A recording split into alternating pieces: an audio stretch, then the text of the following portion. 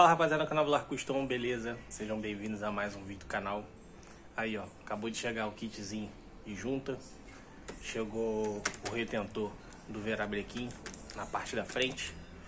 A gente vai estar tá colocando agora. É, vou passar uma dica para vocês aqui de uma coisa que eu não passei no vídeo passado. Para quem está acompanhando aí a saga da Chevy, vou passar agora. Deixa eu virar a câmera aqui, pera aí. Então, rapaziada, para ter certeza de que a caixa de marcha encaixou direitinho, tá tudo perfeito depois de vocês montarem, a gente vai fazer o seguinte, vamos encaixar a quinta marcha aqui, soltar o freio de mão e dar um balanço na cheve para ver se os pistões vão mexer, ó. Deixa eu tentar mexer aqui sozinho. Tá meio, meio ruim, ó. Ó. Se o pistão mexer, ó, é porque tá tudo encaixado certinho. Olha lá, tô conseguindo ver aí? Mexendo. Vamos agora trocar esse retentor aqui, ó. Esse retentorzinho da frente aí. Vou soltar essa poliazinha. Tá um pouquinho apertado aqui, vou pegar a chave lá. Vou soltar isso daqui. Encaixar o retentor novo com a colinha. E depois encaixar a polia do, do eixo do virabrequim. Bora lá. Aí, galera, como de costume, ó. Todo retentorzinho, passa uma rapinha de cola. Vai ter quem me recrimine aí, mas eu gosto de fazer assim para não correr o risco de ter vazamento. Encaixou aqui na posição, a gente vai pegar o retentor velho, vai colocar ali e vai bater para dentro. Falou? Não tem mistério. Retentorzinho no lugar. Aí eu tirei o excesso da cola, tá perfeito. Para quem não entendeu, coloquei o retentor velho em cima e bati no retentor velho para ele entrar. Falou? Agora, se atentar, ó, no risco da polia. E aqui também embaixo tem um riscozinho que encaixa nesse negócio aqui, ó. Aqui embaixo aqui, ó. ó. Você vai botar aqui o risco certinho. E devagarzinho você vai dando umas pancadinhas aqui, ó. Bota uma madeira aqui, bota uma madeira e bate em cima da madeira, valeu? Para poder isso aqui encaixar bem até ficar lá no centro certinho. Esse rasgado aqui, alguém já fez alguma besteira aqui alguma vez na vida. Mas não sei se você está conseguindo ver, vocês, um risco aqui, ó. Que é onde fica o limite do retentor, não fica aqui não. Alguma coisa aconteceu aqui para ter esse raio aqui. Mas já verifiquei que a polia tá boa, não tá marcada nem nada, só tem uma leve marcação, mas bora. Se por acaso tiver algum vazamento futuro aí, aí eu sei que eu tenho que trocar só essa poliazinha aqui. Mas por enquanto vai ficar ela mesmo. Bora lá. Aí galera, como que eu botei a polia, ó. Peguei uma estaquinha de madeira, como falei, Coloquei aqui. Fui batendo com a, com a marretinha aqui, com o martelinho, até ela entrar um pouquinho. Ela entrou um pouquinho. Consegui botar a polia na posição que ela precisava. E coloquei a porca, o parafuso fui apertando devagarzinho. E na medida que fui apertando, a polia ali foi entrando. Essa aqui foi entrando, por retentor. Pronto. Agora aqui eu só vou dar o aperto final depois que tiver com a correia dentada, tudo certinho. Falou? Aqui eu já deixei no ponto, ó. Deixa eu ver se eu consigo mostrar pra vocês. Ó. Cadê, ó? Já deixei no ponto aqui, tá vendo? Marcação com a primeira marcação da polia. E pistão no ponto morto superior do cilindro número 1. Falou?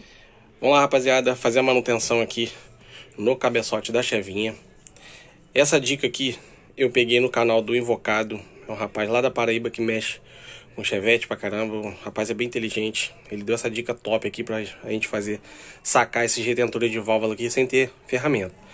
É seguinte, ó, deixa eu virar aqui, não perder. Retentor de válvula é essezinho aqui, essa borrachinha que a gente tem que tirar e trocar pelo kitzinho que a gente comprou. Paguei, se eu não me engano, foi 50 reais na Shopee, com frete grátis nisso aqui. É... Cadê a molinha? Show. Essa mola, como que eu tirei? Seguindo a dica do invocado, ela tava aqui, igual essa aqui, certo? Com as travinhas ali dentro. Eu arrumei um tubo, botei um, um papel ali dentro para as travinhas não, não, voar. E esse tubo é da medida certinha da mola. O que, que eu fiz? Eu dei uma pancada aqui em cima e a mola desceu e as, e as travinhas sacaram para a gente poder soltar elas do lugar. Vou tentar fazer uma aqui para mostrar para vocês. Aguenta aí. Aí, galera. Vou sacar essa aqui, deixa eu separar essas pecinhas aqui. Ó, vai pegar o tubo. Isso aqui é uma ponteira de fusca. Ponteira de fusca lá atrás, lá do cano, que eu tinha sobrando aqui, a medida certinha.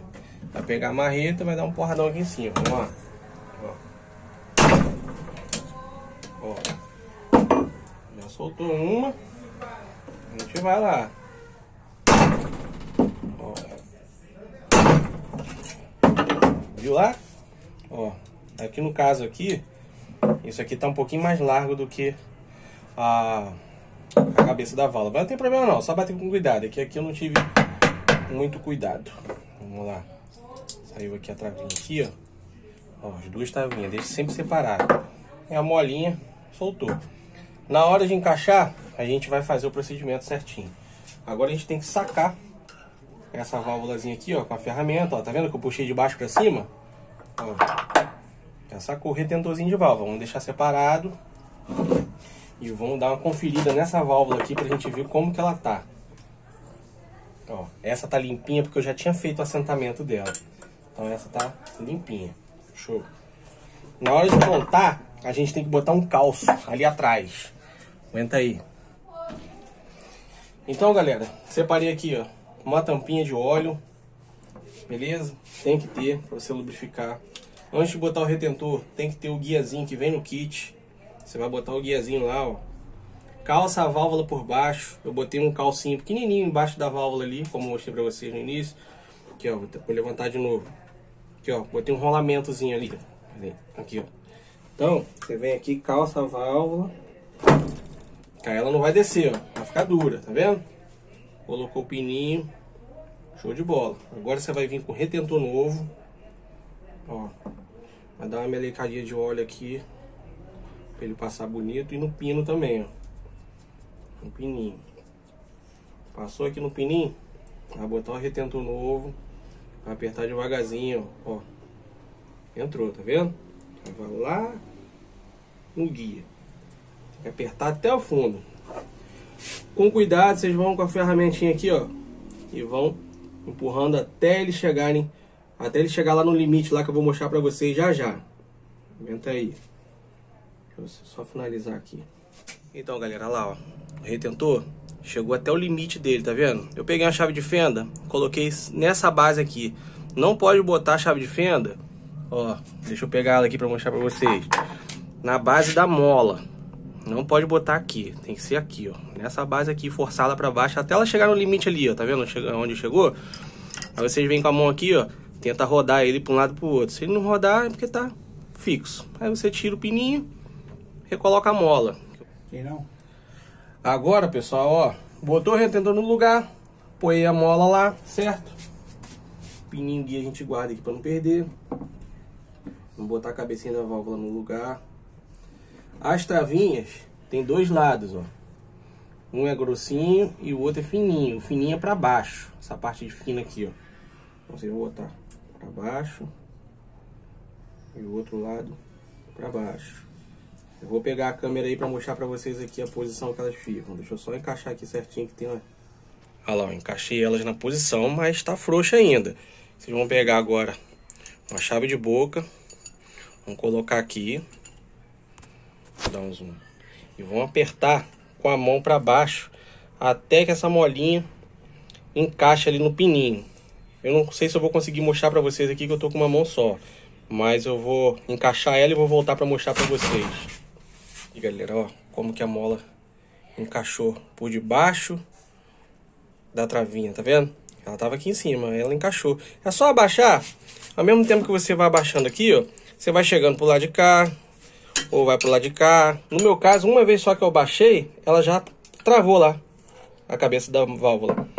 Eu vou fazer todas, depois eu volto para mostrar para vocês o resultado final. Mas deu para entender. Se... Último teste agora, galera. Vira o cabeçote contrário, mão aqui dentro. Ó. Agora a gente vai fazer o seguinte: nós vamos colocar água. Ó, encher isso aqui de água jogar ar na escape, na admissão para ver se está saindo, se está tendo passagem. Então, galera, olha lá, ó. Admissão. Nenhuma bolha. Escape.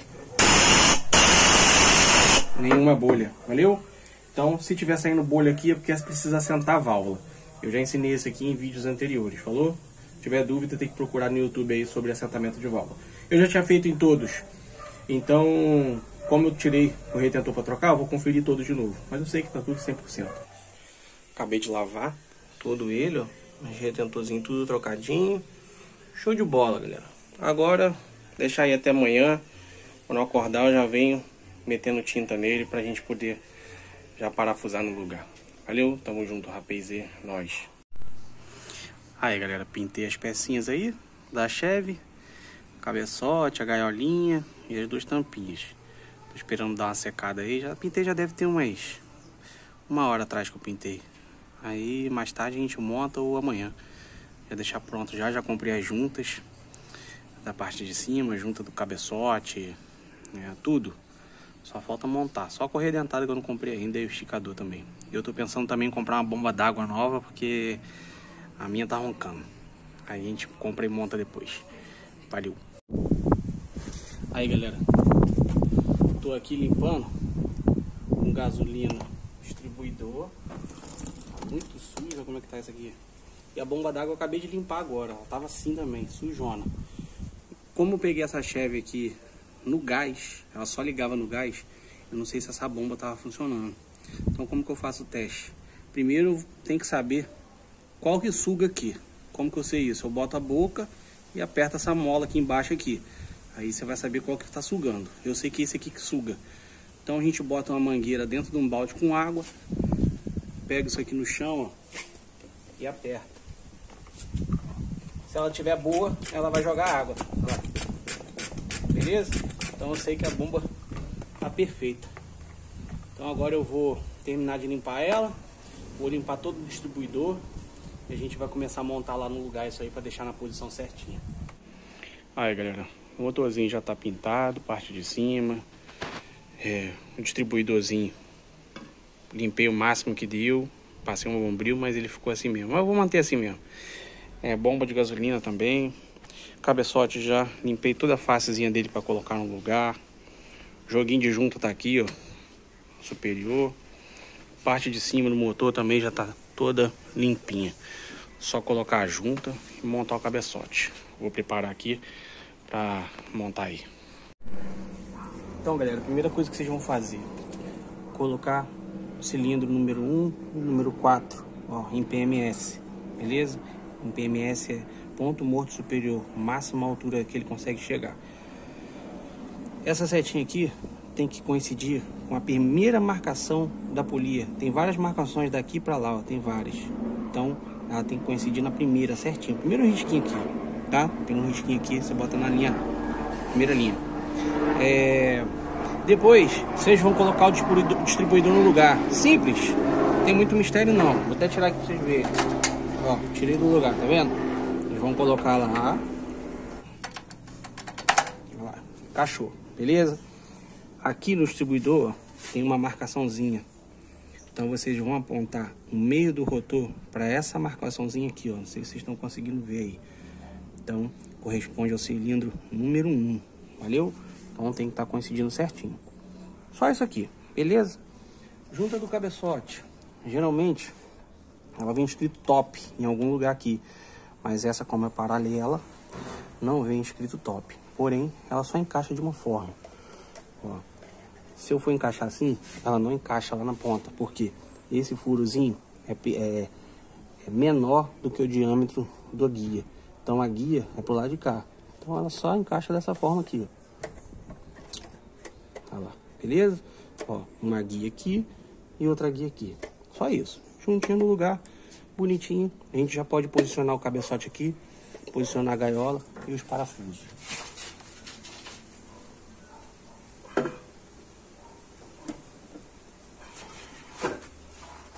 Vou achar agora a guia aí.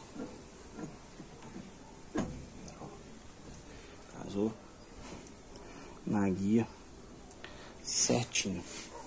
Agora vamos lavar todos os parafusos que eu tinha esquecido de lavar aqui pra gente poder montar o resto. Uma dica, galera, depois que vocês colocarem a junta, confere todas as furações para saber se tá casando certinho, furo com furo. Valeu, galera? Antes de montar. Agora, rapaziada, vocês vão colocar os tuchinhos em cima da cabecinha da válvula. Cada tuchinho desse aqui, ó.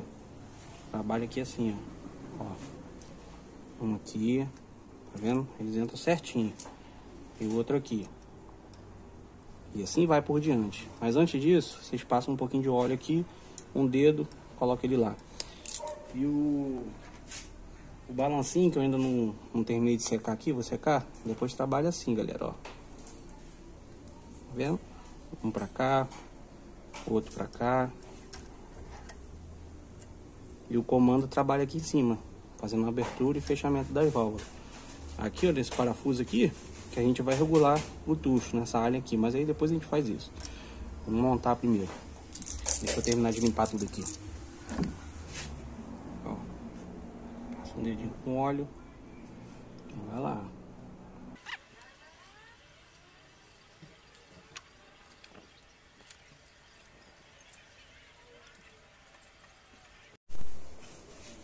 Agora antes de montar a gaiola, galera, pega um óleozinho,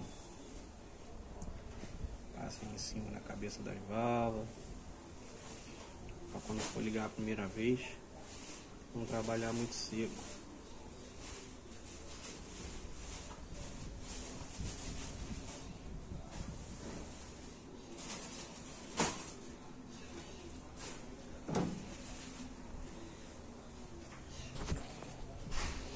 Agora ó, vamos passar uma colinha, ó, cabeçote, em toda a extensão da gaiola, tá? Tomando cuidado para não entrar no furo de óleo, ó. Não pode entrar aqui não. Então vem aqui, dá a voltinha aqui e vai embora. Dá a voltinha e vai embora. Só isso. Bora. Já passei a colinha, ó. Acabei que nem dei a volta aqui não, galera. Só passei reto, tá bom? Só passei reto em tudo. Agora, ó, você coloca o furo pra cima o furo. Só tem um furo na polia, ó. Coloca ele pra cima, tá?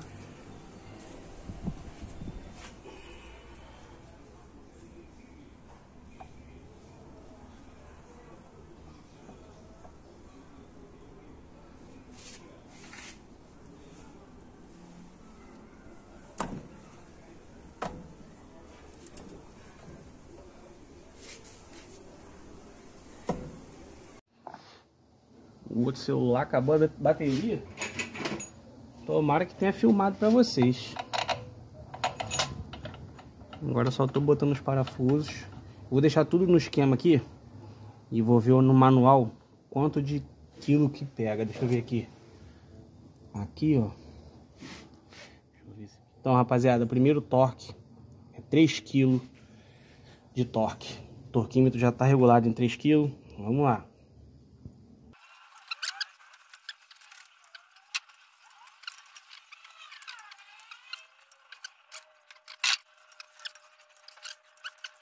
Segunda fase, 6,5 kg. Vamos lá, 6,5 kg.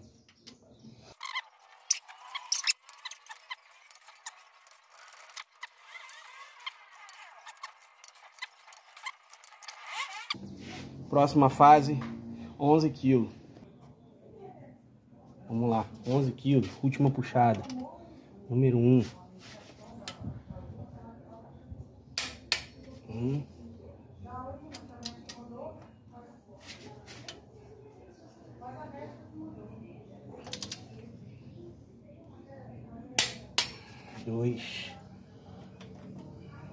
Um, dois. Três.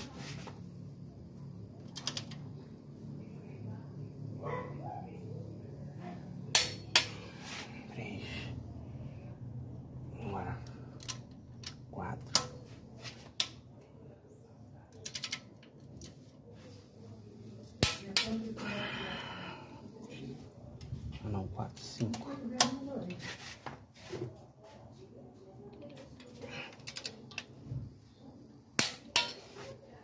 Cinco. Seis.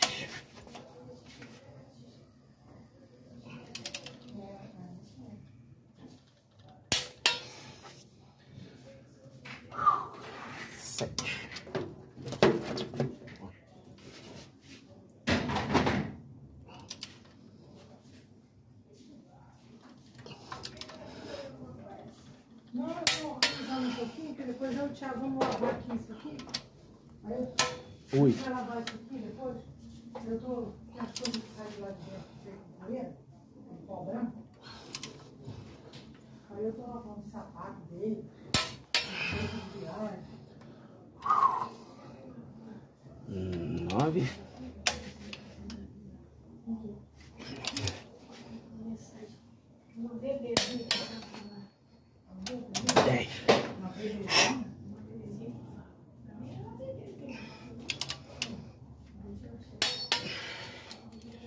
Show de bola, rapaziada. Aqui, ó. Agora que eu vi quando eu apertei o parafuso. Deixa eu ver aqui, ó. Tá escrito na cabeça dele, ó. 10.9. Aqui não dá pra dar o zoom aqui. Tá ruim demais. 10.9 de quilo. 11 quilos. Torqueado. Agora, galera, a regulagem de válvula só vou poder fazer quando tiver corredentada. Não tenho ainda. Então o que eu vou fazer? Vou colocar juntinho aqui, só apoiada. Vou colocar no lugar a tampinha aqui. Nem vou apertar. Vou deixar aí paradinho para quando tiver corredentada a gente dar sequência. Valeu? Tamo junto. Aí, galera. O motorzinho já tá no lugar, meu irmão. Show de bola. Vou botar logo aí o joguinho de vela zerado que eu comprei. Aí.